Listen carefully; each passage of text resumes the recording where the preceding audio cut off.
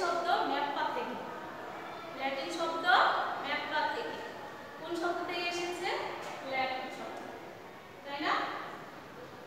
এই ম্যাপ্পা শব্দের অর্থ হচ্ছে কি? কাপড়ের টুকরা। যে পৃথিবী